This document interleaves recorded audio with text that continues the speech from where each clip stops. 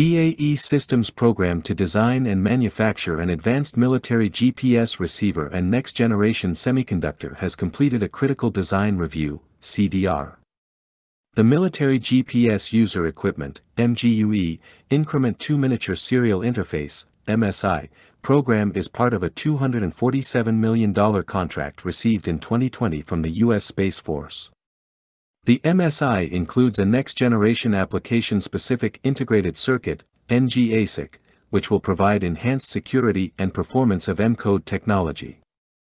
It can also be easily transitioned into future BAE Systems M-code GPS receivers.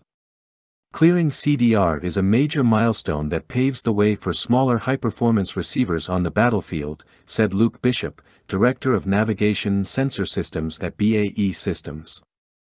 We are one step closer to delivering our warfighters the next generation of global navigation satellite system position, navigation and timing.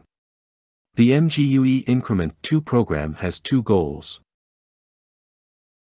The first is to develop an advanced, security-certified M-code NG ASIC, which provides assured position, navigation and timing, PNT, in GPS jamming and spoofing environments, incorporates multi-global navigation satellite system, GNSS, robustness, and reduces power consumption. This capability will support military users and weapon systems in airborne, maritime, and ground domains. The second is to develop and qualify a small form factor MSI GNSS receiver for use in applications requiring low size, weight, and power.